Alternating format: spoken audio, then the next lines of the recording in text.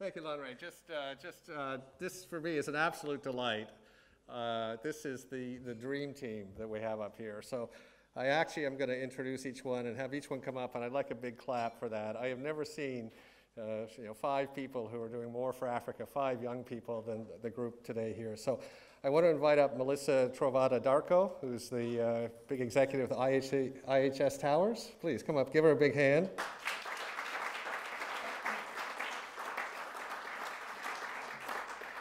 Juliet uh, Ehimuan, who is the country director for West Africa for Google, which we've all heard of. Please, Juliet, come up. Uh, I'd like to invite up Dr. Precious Lunga, who is the co-founder of a very and CEO of a very interesting company making a big difference in Africa, Baobab Circle. She'll tell you all about it. Thank you. Come up, Dr. Precious. I'd like to invite up uh, Ife Oyedele II, who's the co-founder of another famous uh, technology company in Africa, Kobo 360. Please come up, Ife. And finally, I'd like to invite up uh, Milkah Wachiuri, who's uh, from Kenya and is the Chief Growth Officer of an amazing company. Many of you have heard about uh, Cellulant Technology. Please, Milkah, come up on there. So I just, I think this is incredible. You'll hear from all about them. I'm very happy to say that our panel has got uh, gender diversity. Uh, so see so many uh, accomplished women in science. Uh, it also has geographical diversity. I'll let each of them tell you where they're from as well. Uh, the only thing I'm going to say is that uh, sitting, I've been in Lagos for a decade now. it's my home. I'm paid in Naira. I pay 21% on my mortgage. I have nowhere to go. So I'm totally committed to, to Africa and to Lagos and Nigeria. Uh, the only thing I will say is um, in Africa, the challenges that we have are only solvable through innovation. We cannot deliver healthcare, we cannot deliver education, we cannot deliver financial services to 2 billion people in Africa uh, in 2050 in the uh, old way. To give a very small example, in developed countries, we have this model of 500 doctors, so 500 patients each doctor. It is not mathematically possible to deliver in that way. So I'm going to come over to the panel and get them started on this. I think it's going to be a fantastic conversation. We'll try to save a little bit of time at the end to get some, some, some questions. Um, uh, and if I'm a bad moderator, it's just because I'm listening so hard. We were up in the green room. We had a fantastic conversation about so many of these issues. So please, let's get started. I'm still on, right? Okay. So I want to start by asking each panelist just to tell us a little bit about their company, themselves, and their company, and what they are doing with innovation to make a difference uh, with Africa. So let me start with Melissa. Hi.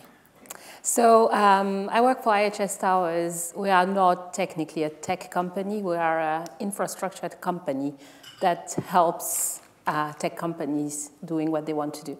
So for those not familiar with uh, IHS, uh, we uh, build um, telecom towers and lease space um, on, on those towers to MNOs and other actors.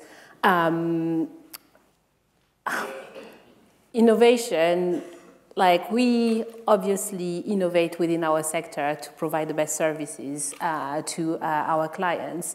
But what I would say is that one of the biggest and maybe more relevant for this panel is that we enable uh, other actors to be innovative and, and uh, portray their innovation, it being by um, releasing capital uh, for um, the companies that sell their towers to us uh, or leasing spaces with services to companies that come uh, on our infrastructure.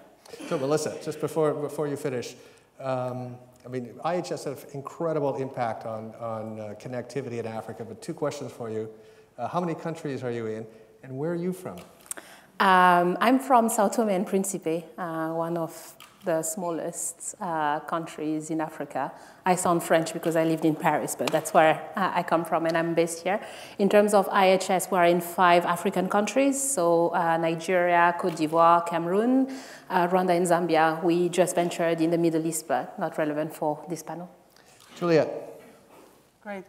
Thank you. Um, I'm Juliet. I run our, the Google business across West Africa, and um, We've, we've recognized to a large extent the opportunity that exists in Africa And we've taken a long-term view of our business. Um, we've been working primarily with different stakeholders to help to build the digital ecosystem.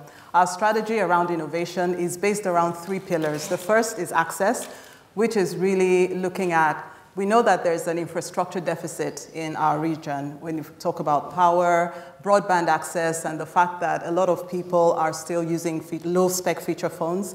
And so we have an initiative called Next Billion Users, which is really looking at how do you innovate specifically for the next billion users coming online with an understanding that the bulk of them will be coming from Africa and other emerging markets.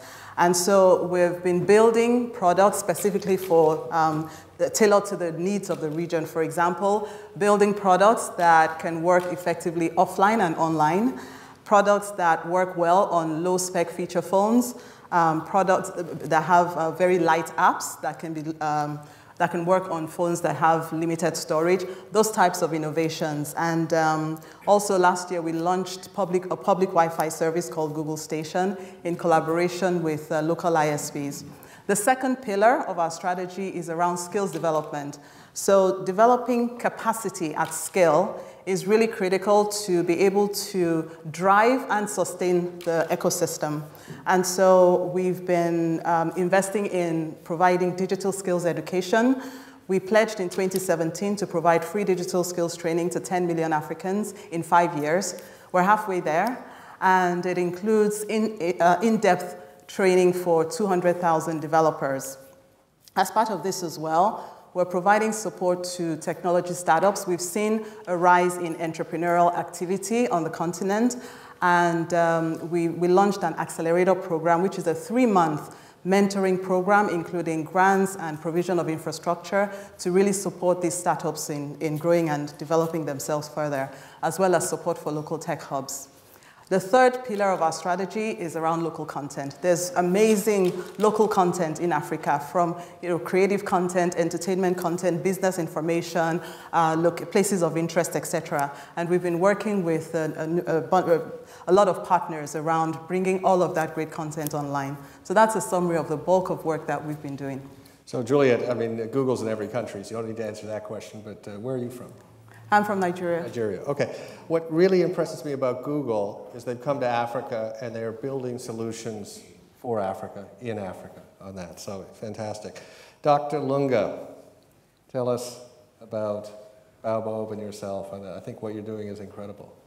Thank you. So my name is, is Precious Lunga. And uh, we set up Baobab Circle because there's a big problem across the African continent right now, and it's around non-communicable diseases. It's a really long name, but basically, think diabetes, high blood pressure equals strokes, amputations, and blindness. So 25% of adult Africans actually suffer from high blood pressure. It's a big problem for our continent because we're not geared to deal with these chronic health conditions. And so what we're seeing are these terrible complications. So we developed a platform called AfyaPap, which actually delivers support for people with these chronic conditions.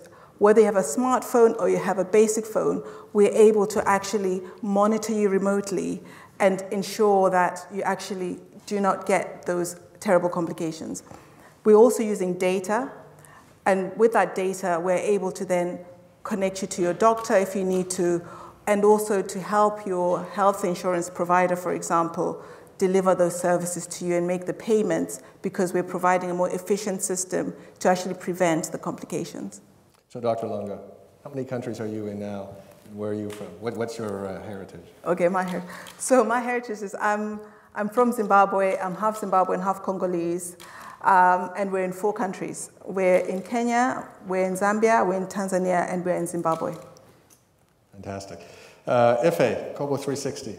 Uh, Hi everyone. Uh, so Kobo 360, uh, simply put, we are Uber for trucks in Africa. Uh, what we do is we have a tech-enabled logistics platform that connects uh, cargo owners uh, with the truck suppliers who are able to, to solve that capacity for them. And uh, my partner and I, my co-founder and I, we moved in to solve that logistics problem in Africa. what we saw was that there was no, there was a lack of capacity in uh, the large enterprises being able to supply their products to the 200 million citizens uh, in Nigeria, which we started out from. And so what we did was started to aggregate all the trucks on our platform, and we sort of merged technology with the traditional way of doing business in Africa. So like, uh, like Lunga, like Ms. Lunga, Dr. Lunga, we also use, the drivers can use touchstone phones, smartphones, and they can accept requests uh, through our platform. Uh, they, they, we also have trackers on the trucks for proper tracking and monitoring and visibility. And what we also do is uh, to, for, for our drivers, we have a, a lot of value-added services partnering with the, the, diesel supply companies, the tire supply companies, uh, all plugged into our platform uh, to drive efficiency and optimization uh, in logistics. Uh, we serve several large enterprises like Olam, Unilever, Dangote, DHL. Uh, we're now in four countries. Uh, we're in Nigeria, Ghana, Togo, and Kenya, soon to be in Uganda, Rwanda before the end of the year. so it's been an exciting journey so far, and good to be here. And I won't ask your nationality because everyone in the room knows from your name you're Nigerian. okay, Milkah. So Cellulant, uh, many people here have heard of Cellulant, and there's so many incredible things they're doing, but just, just describe one or two things that Cellulant's doing that is really changing Africa with technology. Yeah. Um, so hi, everyone. Um, Cellulant is really um, started off as a payment business um, in Africa. Um, and we have a network of uh, 90 banks, um, 40 MNOs, and uh, over 600 merchants, um, just uh, offering white label and also our own products uh, to consumers and allowing them to make payments across Africa. We've taken this technology now and are sort of building on uh, and innovating on top of it in a very specific area in agriculture. Um, and um, we, we sort of look at it as the first step of um, innovating on marketplaces um, in Africa. Uh, we, we run this technology uh, primarily in uh, Nigeria today. Uh, we have a database of about 17 million uh, farmers that we registered uh, about maybe five years ago when we worked with the government to give disbursements to, to farmers. Um, and now corporate commodity buyers and um, agro dealers, uh, logistics company, warehousing companies have um, now a platform that they have available to them uh, that is blockchain enabled to allow them to move produce from the farmer to the corporate commodity uh, buyers. So, I mean, that's what we do. Uh, we are in um, 10 markets in Africa uh, today. Um, and uh, so lots of uh, Southern Africa, except South Africa. and, uh, and, we're in Nigeria, we're in Ghana, we're in Kenya, Zambia, Zimbabwe, Mozambique, uh, Botswana, uh, Malawi. Um, yeah, so about 10 of them, yeah. And what national, where are you from? What's your country? I'm Kenyan. All right, so you've heard for a few minutes from the panel here. To me, this was just amazing. One is just uh, the geographical uh, uh, diversity on this panel. And I have to confess, I'm not sure I've ever met someone from Sao Tome, but I'm very happy to be sharing up with that. But also, if you listen carefully, every one of these startup companies is now in multiple African countries. I mean, I think about in Nigeria how few companies move out the young innovators are taking their ideas across Africa. It's just incredible. So let me reverse the order. I have a question, which is I want each panelist, and you can feed off each other, but to describe either an innovation or a technology or a company in Africa you think is really going to make a, a, a, huge difference to the uh, well-being of the continent. So I'm going to start with Milkah. Blockchain, of course. Well, tell us. Um, and the, the reason, um, I mean, there's a lot of, uh, and maybe this is, um, let me say, over-discussed or over-emphasized, but whenever you look at um, Africa and whenever people consider Africa, the word um, corruption, things passing through the wrong hands or never getting to the right person is always a consideration. And um, blockchain technology really comes to um, help solve part of this problem, right? As technology is not everything, uh, but a lot of what we've seen, for example, with the um, a Greek uh, platform is that, that it's now uh, the availability and allowing that there's visibility of what is moving from where, what's the price, um, who, who is um, linked, where is my money, where has it gone, to whom has it gone, how did it come back, and just allowing that visibility from a technology perspective. Okay, Ife. Uh, so for me, I think it's more big data and uh, machine learning. For us in Africa, we're seeing that a lot of data is still gathered on a very traditional means. And for us in logistics, we're always on the field uh, dealing with drivers, truck owners, farmers, I mean, construction workers, every single person that comes on our platform. And uh, we're now using this data over the last uh, 16 months that we've launched uh, to make, uh, make better decisions. And that's what is driving our, our growth and our expansion. Uh, we had our own idea of what we wanted, what the markets we wanted to expand to, into, but the data we started to gather sort of informed us to take a different direction. And uh, we're now seeing the importance of that and hoping to continue that trend. Uh, we started our own data analytics team, all local, local uh, hires, a very strong team, and we're excited to scale that into uh, beyond just uh, tech for logistics. Wow. Dr. Lunga. Um, I'm going to say connected devices, which actually feeds into the data collection, um, particularly in the area of health. So uh, many of the medications and, and ways of treating people actually uh, were developed based on models that were, uh, you know, tests that were done, be it in Europe or in the United States, and most of them on men. And actually, what we're doing now with the Internet of Things is that we can actually democratize and get real data and use that real data to, to actually develop algorithms that are relevant for the context. Wow. Okay. I would say artificial intelligence and machine learning. I believe strongly that Africa's biggest challenges will not be solved by traditional methods of the past. With machine learning and artificial intelligence, these problems can be solved in radically different ways, um, a lot faster and even more cost effectively. And that's a way to really accelerate growth. For example, today, with a smartphone and a camera, it is possible to predict and prevent severe climate conditions like droughts, uh, uh, detect uh, severe diseases, as well as address issues like financial inclusion for the unbanked. Um, and certainly, this is something that we use uh, already in Africa with our products. With Google Maps, for example, we use machine learning and satellite imagery to um, automatically add buildings onto Google Maps, even buildings where the addresses are handwritten, right? Being able to interpret that. And in the last year, we've been able to add 10 million locations onto Google Maps. This would have taken uh, several years without the technology. Wow, I'm speechless. That's why I'm not doing a good job moderating. Melissa. uh, I, I, would say fiber and any other technology that will support uh, the businesses because we can create whatever we want if um, that cannot reach our phones, our laptops. It's, it's a big loss. Um, data, uh, as we've heard from uh, every panelist, is really important, but we need the means to reach the, the end user. So I think what's interesting about, about the answers you've heard, also the businesses, I mean, sometimes when people think about technology in Africa, I mean, for years we've talked about M-Pesa, M-Pesa. I've got uh, M-Pesa fatigue myself. But what's amazing here is the connection between innovation and the physical world. So we've got health tech, which is you know, physical person being connected with the technology, the logistics uh, on there, ag tech with the cellular. What uh, Melissa's company does, IHS Towers, is an infrastructure company using technology. Um, and so I think that's really critical in the innovation. There's so many dimensions. But you also heard from the panelists how many different technologies we need in Africa, uh, homegrown in Africa, to be able to make this work. So, but let me change directions a little bit.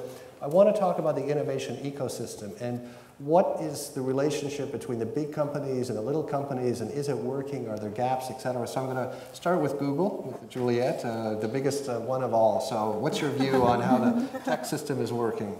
I think uh, there's a necessary place for multiple players in the ecosystem. So the large multinationals, global organizations, uh, local entrepreneurs, the international VC firms, local funds, etc. I think um, everyone has an important and very vital role to play. Um, if I take the uh, global multinationals, for example, um, these organizations, I would say, bring global best practices and standards also would usually have uh, the financial muscle to be able to make bets and invest particularly in areas around their core business. Um, in, in, the work that we do, there's also a lot of uh, uh enabling the local industries, the local businesses. Uh, I talked about some of the programs that um, we run even with, uh, with startups. Uh, tech hubs, for example, that are an, an integral part of developing the, the technology ecosystem. Um, we support not just uh, uh, through funding, but even programs and um, initiatives to stimulate and build the community. So, for example, um, in, in Nigeria, we have over 30 Google developer groups.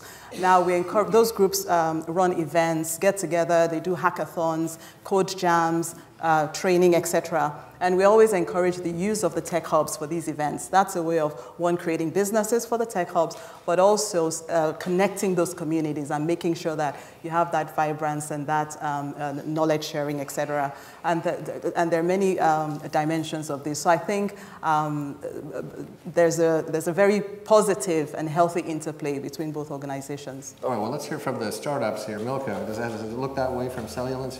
Cellulant's a bit further than a startup, but, yeah, yeah. but uh, does it look that way, a healthy ecosystem no, for you? I mean, it, it does. It does, actually. Um, if you look at a business like Cellulant, for example, I'll give you um, an example of two companies that uh, we are working with today, um, Facebook and uh, ADN, right?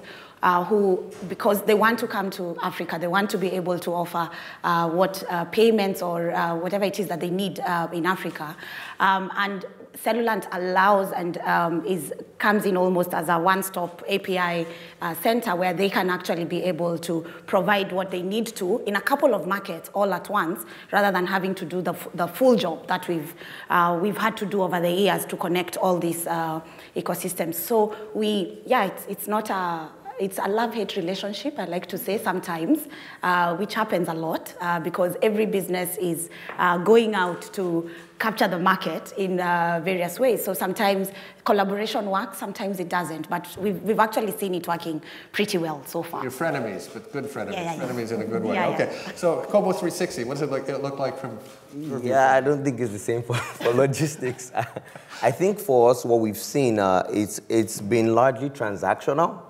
Um, and I think maybe it's because of the, the, the, the, the sector we're in or the industry and you know how logistics is. People that, uh, in, for us in Kenya, you know, when you tell somebody that it's actually cheaper to ship things from China to Mombasa than from Mombasa to Uganda, I mean, your head starts to spin. And why is that? So for us, we're building uh, what we call a global logistics operating system, something that plugs in all the players in the market. And what we do is that we've decided to go beyond just having a transactional relationship with our clients who are largely manufacturers or uh, production raw material um, movers in, uh, in Africa. And so every once a month or, every, or bi-monthly, we have a sit down with them. We show them what the, the numbers are doing, what the data is saying from the business that we transact with them. So, and how do we build a relationship beyond that? And that was what even so for us now, it was easy for us to roll out with our existing customers to other markets uh, because they see us not just as somebody that is transacting and supplying them trucks or, or, or increasing their capacity, but more as a partner as we scale across uh, Africa and, and they scale as well. Okay, so let me shift gears a little bit. I want to talk a little bit about how the government is supporting or not supporting innovation. Um, and Melissa, I want to start with you on this issue because, uh, I mean, I, what you do, IHS Towers, is not easy. Uh, you know, towers all across the country on that. So how, how does IHS feel about, we're, I guess more or less Chatham House rule, but feel, feel, feel about government support for what you're doing, dealing with the government on these issues to, to roll out what you do? We need the government, uh, and, and, and there's a lot of communication because the tower co business is something new in most of the markets where we are we were the first TowerCo. So we need to find a way uh, to work together, and we are at the frontier of a lot of things. We are an infrastructure company, but we do telecoms. Telecoms, depending when you go on market, you have concerns about uh, sometimes national security because yeah, telecom, phones, you don't know.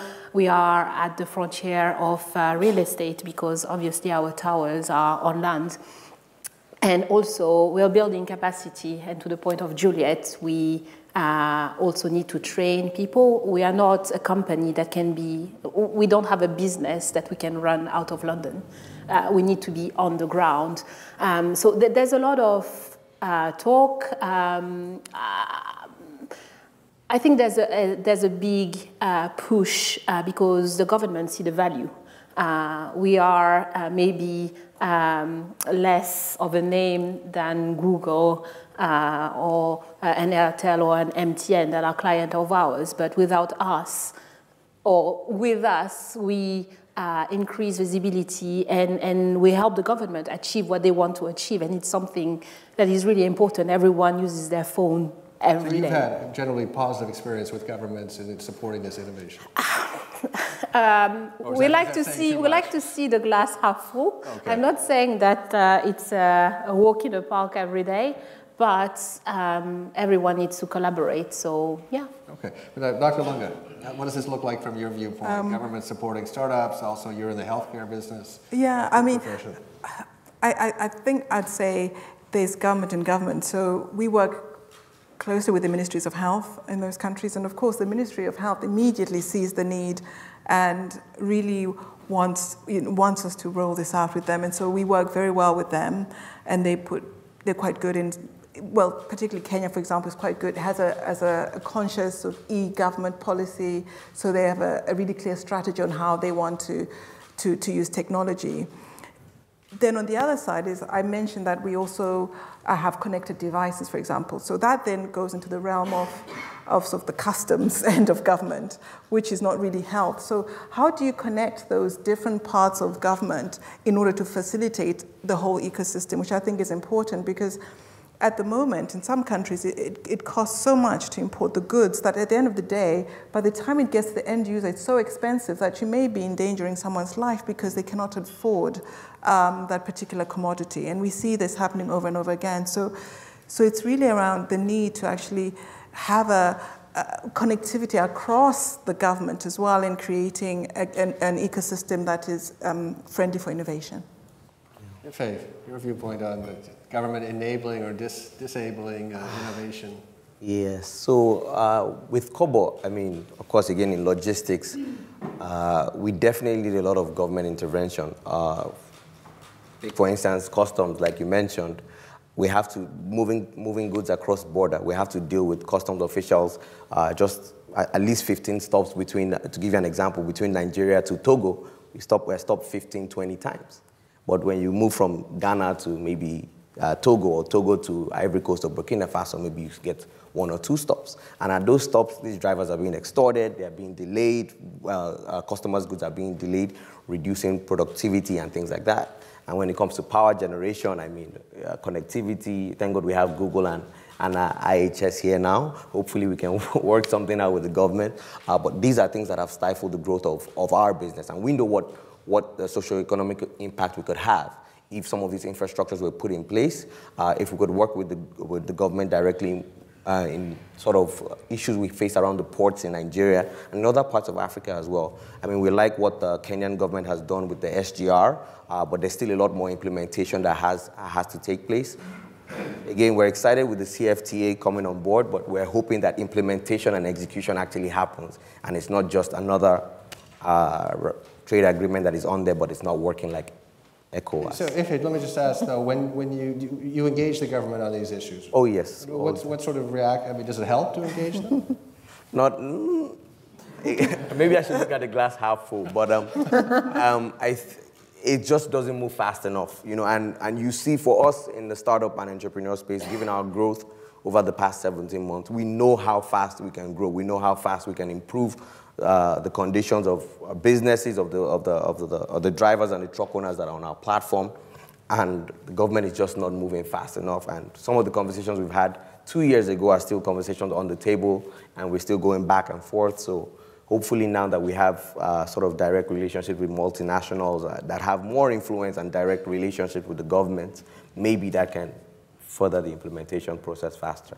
Milkah, do you have a view from yeah, Cellulant? I, yeah. The, the problem we have, and it's a huge one actually, it's more um, that if you, if you find the right person, the right individual, right? Not necessarily uh, corrupt, but the right person as, a, as an individual, they're driven by something different. The former, the now AFDB president was the minister or the PS in, uh, in agriculture when we were getting our contract. So nothing about corruption, he was just invested as a person, right? Not about the system, just him as an individual. So you find the real, the real problem is the divorce of the system and the individual. Because as long as the individual wants the job, that fine, right? They will push for it. Um, and you know, when he got promoted to AFDB, the project died with him, right? So that's that's just it. That the system and the people are divorced right? Um, and that's a big thing. Uh, but interestingly, also, you, I mean, you find it also in the um, uh, in the positive. Uh, the Kenya Revenue Authority now in in Kenya is having discussions with Cellulant and we're having conversations with them saying there are a lot of these businesses that want to come uh, to Africa. They want to offer services in Africa. They do not want to be, uh, to be registered in Africa. I don't need a business uh, registered in Africa to offer digital services, right? So how then, and I want to pay taxes. I do want to pay taxes. But you've not actually put the infrastructure in place to allow us to be able to charge that tax. And it's not even about just charging the tax, it's about policy. Because if you're charging 15% um, withholding tax on services, for example, margins on payments are very thin, mm, right? Yeah. So you can't charge 15% like normal, right? So there's, there's a lot of conversation there. Uh, the good thing is that this one is also interesting for them because it means more revenue. So they invested, right? Mm. so it just, I think the real thing is the, yeah, just the divorce between the person, personal interest, and the government, right? I They're also, waking up. I, I, also think just all of you, when you explain your technology or your innovation, it's so complex. It's very difficult for government officials to keep up with yeah. this information it overload. So just we'll many times, many times they say no to many things because they don't understand, they don't understand them, right? Rather than anything else. Right. So you have two, two, speeds of Africa: the government speed and the speed of uh, the young people up here on this panel. All right, Juliet, let me ask you: What does this look like from Google's viewpoint? And, and you're a big company. Well big as they come. How are you influencing governments to embrace innovation and go faster? Yeah, so government plays a very important role in creating an enabling environment for technology growth. And we, one, of our, one body of work that we've taken on is actually um, engaging with government, uh, providing uh, advocacy, uh, training, obviously as well, because uh, some of the digital concepts that we're working with are relatively new. The markets are not um, at the level of maturity that they can, they can be at. And so um, there's a lot of that interaction. And we've seen increased interest from government and an understanding and appreciation of the fact that technology is pivotal to growth right? And we've seen some initiatives. So to your point about separating the individual from the uh, institution, unfortunately, it's hard to do that on a sustained basis because administrations change. Um, a few years ago, um, the, the, government was very, uh, in, in the technology space, very active in, in Nigeria, for example, around um, getting the private sector and the public sector together to develop strategies. So um, there was uh, an effort around developing a technology incubation strategy. We were part of that uh, committee. There were other private sector organizations as well as government agencies, um, and also to develop the National Broadband Plan, mm. which was really aimed at accelerating broadband growth and removing the obstacles. There was momentum in executing these strategies, but then we had a, a change in government and um, you know, the momentum was not sustained. So that's another challenge that, uh, that we experienced. So we're seeing uh, increased support and appreciation, but things can, be, uh, can, can move faster. Okay, fantastic. So let's just go to another, another um, topic here. I want to talk about um, the advent, like the, all these innovation centers, cloud computing, open source, is that having an impact? Is that helping to accelerate uh, the growth and innovation? And maybe we'll start with, uh, with Milkah again. Yeah, um, I think the jury is out there uh, a little on, uh, I mean, when, especially when I look at uh, cloud, uh, cloud for sure. I mean, that, that, that goes without saying. It has made work easier. you're able to collaborate better. but let me just um, possibly look at um, uh, hubs, uh, innovation hubs more. Um, I think just either looking at them from a funding perspective in the way they are funded uh, today uh, makes it very, um, let's say, nice to have. Um, things happening or activities going on uh, in the hubs rather than uh, something that says at the end of um, what we need to do in this hub, uh, do these companies actually uh, get out and become businesses that uh, can actually sustainably run um, in, um, um, in, in the continent? And I mean, there's some few uh, examples that have started uh, uh, sort of uh, uh, becoming real, actual businesses that are, are operating. but I've actually found that most of, most of those are you know, those that are, say, funded by people like Google. So Google is personally invested, M-Pesa is personally invested, Safaricom has done a couple, and they have personally invested. So that really, they move uh, when that happens. Uh, but I've, i think, to me, the jury is still out there on how successful they are today. Mm-hmm. Listen, do you have a view on this? I think it helps building capacity. Um, I think the biggest asset, and it's the view of my CEO of Africa, is its people. People want to do things, they are motivated, and um, as we were discussing uh, with the panel before joining here, we are solution oriented. We're like in Africa, we have so many issues um, that we need to solve that when a new product is created, the product is most of the time created to address an issue that we face day to day. So I think there's room for improvement for sure. Um, I think there's a lot of um, uh, hubs that are funded by private companies, but I also think that the governments, to go back to the point earlier, are realizing that they have also um, their role to play. So, um, and they are creating and encouraging companies uh, to build capacity in the countries together with them. So we see increasingly, increasingly uh, more uh, asks from the regulator to come and train people with them. And Juliet, Google's view, I mean, obviously you support these hubs, but do you see them as just people building capacity, or you think we're going to see some big companies come out of them, or, or not quite working, as Milkah says? I think they're a very important part of the ecosystem because if you uh, consider the fact that we have infrastructure challenges as an example, um, innovation hubs provide an opportunity to localize world-class infrastructure and also drive um, uh, collaborative working, networking, as well as skills development. And um, we've, we have seen some very viable um, entrepreneurial businesses come out of existing tech hubs. Um, we have to watch and see how, how far they go, but um, uh, uh, there are some that seem to be um, doing quite well and uh, are likely to be successful in the long term. I think that they are, um, relative to the population, we don't have enough of them, mm. and the existing ones need more support. Okay, thank you for that. So let's um, turn to a, uh, I hope the final question before we uh, go to the audience. Um, I wanted to ask, I know the answer to the question, but I want to know what you would do about it. So the question is, is there enough venture capital to support the innovation we need in Africa? I think the answer is probably no, so we have to have the answer. But I want to start Dr. Lunga. Okay, so that's, we know the answer. It's no. What do you do about it?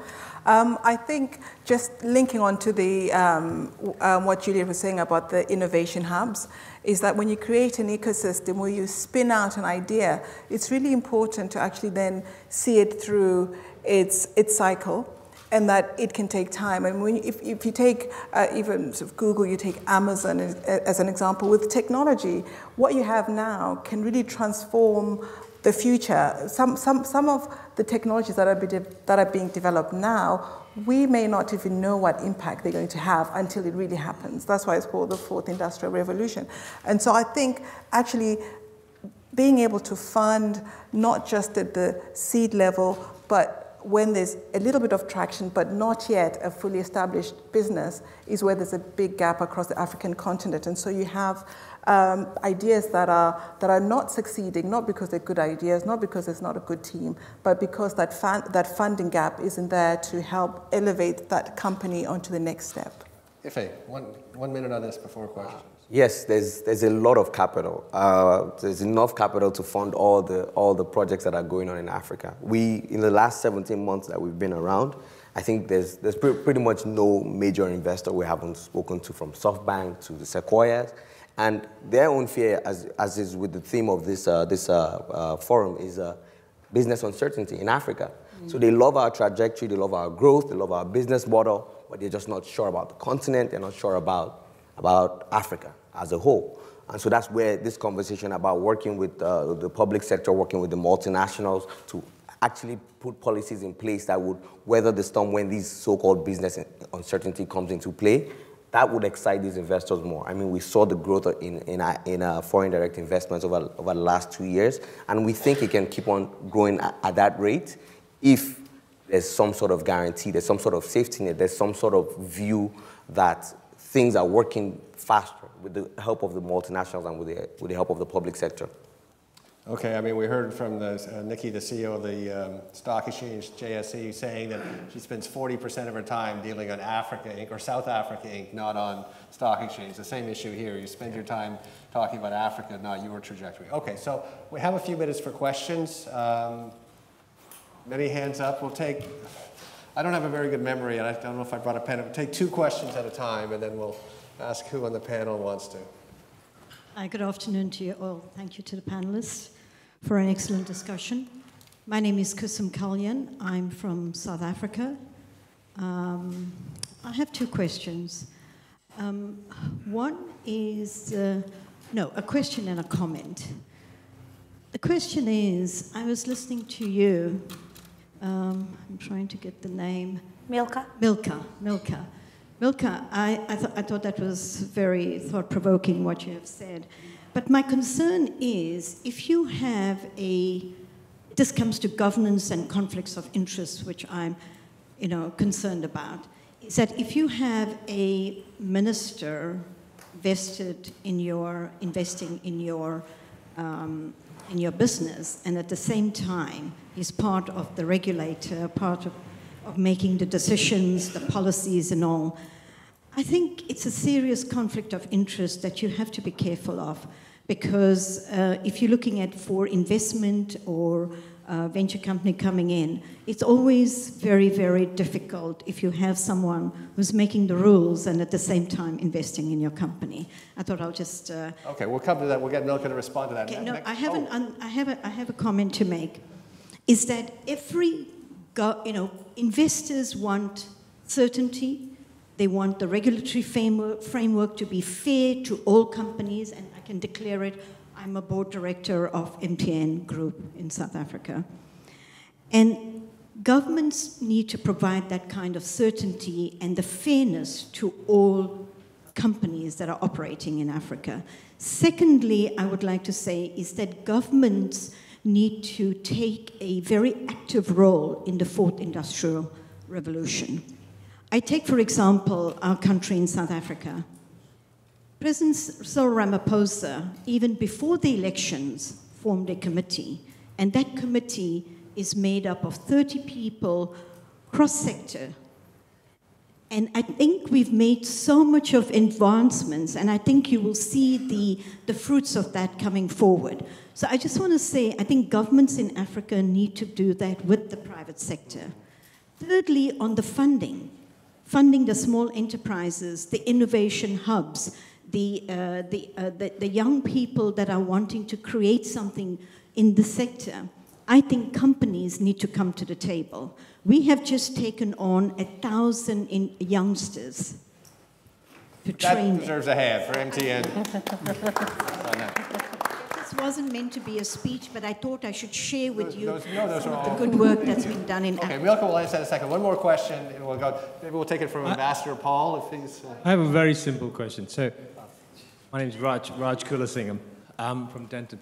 So, I see a lot of startups talking to me either as an investor or as an advisor.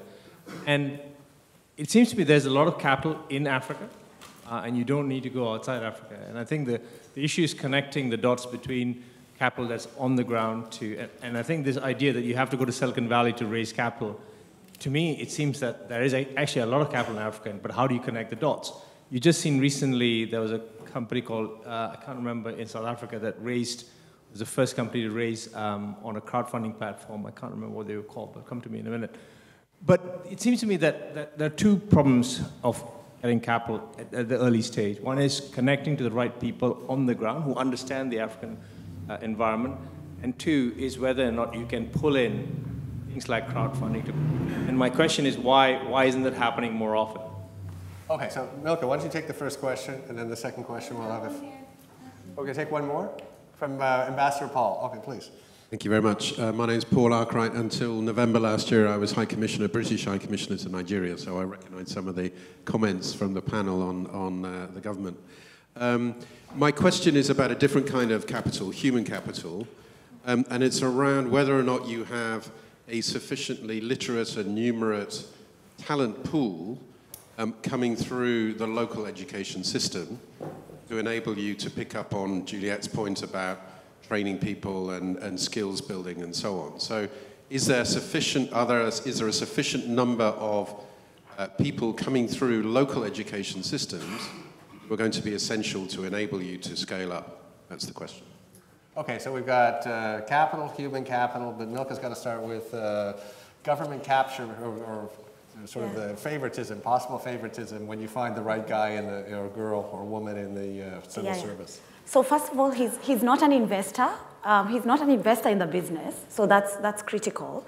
Um, and this was really a um, right place at the right time, right? This is someone actually who met my uh, chairman and my co-founder on a plane, and they just started talking about the problems of, of Africa and the issue at hand. They didn't even know he was going for an interview, and after his interview, he called them that that thing we were discussing on the plane, uh, I'm now the PS in, uh, in, uh, in, this, uh, in the Ministry of Agriculture, and I want to see it happen. So he's not an investor. There is absolutely no conflict of interest. Um, he doesn't work for Cellulant in any way.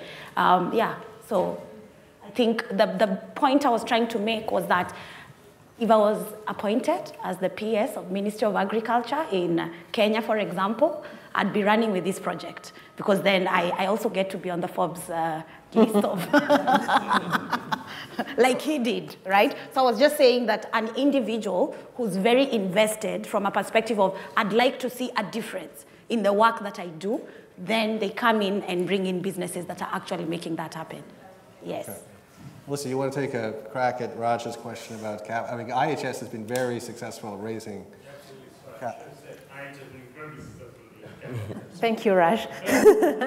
uh, it, it's quite interesting because IHS is now part of the big companies. and, and I, I, think we are really proud to be sitting like in the panel of the big companies with Google. But um, for those who don't under, like don't know the IHS uh, history, uh, we were founded in 2001 by uh, three engineers. So I think today, um, given the success of IHS, it's somehow easier to uh, raise capital, but uh, the issues that my fellow panelists had um, existed for IHS uh, when the company started. Um, I, think a, a, few issues are uh, within th that border. When you want to invest in Africa, and it doesn't um, matter if you are looking for $50,000 or 200 million, the compliance point uh, is critical. Uh, even uh, at, at, our scale, the amount of time we need to uh, spend with even our existing investors and bankers to discuss compliance issues, conflict of interest, the framework. Um, if you like it, it's, it's, sometimes, it's sometimes difficult, and I think that people miss uh, on that opportunity because some people just can't um, reconcile uh, the compliance issue with reputa uh, reputation risk and, and so on and so forth. So I think there's, okay, uh, sometimes uh, that gap that needs to be um, closed to allow more capital to access the company that did it most. So, you want to take a, you, you, you gave the example of your company creating the, the analytics team. So yes, so, so just to, just to touch a little bit on, on what Milkah said, um, I, I had the opportunity to meet some of the people that worked under the, the minister, and um, I, I, was very excited. I was very happy to hear what she said. One of the things that we've struggled with in, in West Africa, particularly, is business continuity. Uh, when government changes hands, the, the prior government, who may have been forward thinking, assembled a forward thinking team uh, brought in policies that made sense, that, was, that allowed for better sharing of profits, of, of business, of revenue, and things like that. And then all of a sudden, maybe he moves on to a different uh, sector or a different business, and that thing slows down. Uh, so she was very lucky. Uh, I, I, know a lot of companies that benefited from, from having that forward-thinking minister assemble a young team. I know somebody joined from BNP Paribas, who's a good friend of mine and now an entrepreneur uh, because she saw uh, the benefits of being an entrepreneur in, in, a, in, an environment where the government enables that. And that touched on what you said about creating uh, a sector, or should I say a team of people with, with, the entrepreneurs, with the multinationals, and people in the public sector on driving these implementations, these are policies that could help uh, scale the continent. And then to touch on, on, on the point of, of capital, I think equity, equity investment, the framework of equity investment uh, in Africa, West Africa particularly, let me say, is, is quite new, and even Africa. And so I've seen a lot of startups who, you know, they went, and even when we started, we, we approached local, local uh, people, high net worth individuals, uh, investors, and they don't understand what it means to give away money for less than 50% of your business or 80% of the business because they, they feel like they're funding your entire operation because without them, you can't start. Uh, so that's one of the things that we've struggled with uh, with raising equity capital. I mean, for smaller firms like us, unlike IHS, uh, equity investment is a very, very new framework, and a lot of companies, uh, startups have suffered because they took money from an uncle or an aunt who didn't understand what dilution meant and things like that.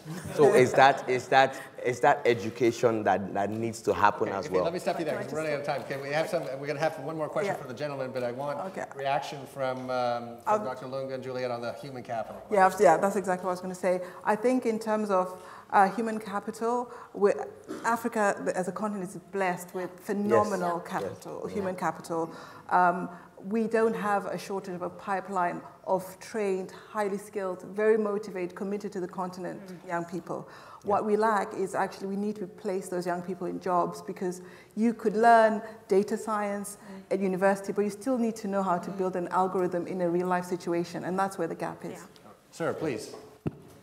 So, um, my name is Zemedeneh Negatu. I uh, global chairman of a private equity firm based in Washington, and we invest quite a bit in the technology space. So I'm speaking more from an investor's perspective. And I was intrigued by the challenges that they say uh, the, the, these young people here that they face from governments. And I think we see that as well. I think the way you should frame it, if we want governments to understand the value of what you bring, give them some numbers. We're a numbers-driven organization. I'll tell you something. The digital economy globally is worth $3 trillion, which is worth bigger than the UK GDP. So if you frame it as such, and then you present it to policymakers who actually are, are fearful because look, look at what's the average age of the people in this, in this panel here. It's very young, right? You don't see this kind of leadership in other industries. So you frame it as such, and that's what we do. We've invested in, in a replica of M-Pesa in Ethiopia called Hello Cash. And the way we presented it is, it's the bank the unbanked. Mm. When in a country that, when we started the companies eight years ago, 80, 85% of Ethiopians didn't have formal financial services. So if you frame it from the government's need perspective, because governments in Africa have lots of challenges. So when, you, when young people like them come in and it sounds like esoteric things that they're presenting to them, you have to present it from the government's perspective. That's what I think we will do. We do both venture capital, we've done three of them, and then we do quite a number of private equity in the technology space. So uh, this is how we've been able to overcome because policies don't move by themselves unless you frame it from the government. Just like if you talk to the agriculture minister, relate to what the farmers are going to benefit from, not you, what your company is going to benefit from, because they might think you're just pure capitalists out there to rip off you know, poor farmers. So the same thing on the technology space. What is this technology going to Second and final point is more a comment is uh, social media. I think uh, it's stuff that can be both a plus or destructive. And I think that also needs to be addressed. I mean, as an American, I can relate to these things being invented in Silicon Valley. We've, we've invested in a company in Silicon Valley that's in that space. But when you bring it to Africa, sometimes it's seen as a threat, although we have to show them how you can monetize it as governments, how they can capitalize on Twitter, Facebook, and other things that can actually, and the companies like Google, the benefits that they can bring, instead of switching it off whenever there's an election or something like that that they don't like, okay? So I think you have to see it from their perspective in order for them to accept you as a partner that would solve government's challenges in Africa. Thank you.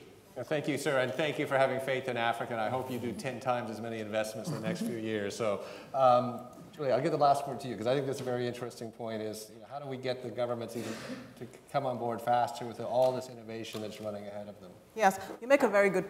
And um, what we try to do uh, most of the time is just linking uh, what we're doing to the government agenda. So, for example, job creation. If we're training people and giving them skills, then they're likely to um, be more job ready, create opportunities for themselves, existing businesses can grow and so on and so forth. And so um, talking to like the ministry, the ministries of trade and commerce and investment and all that.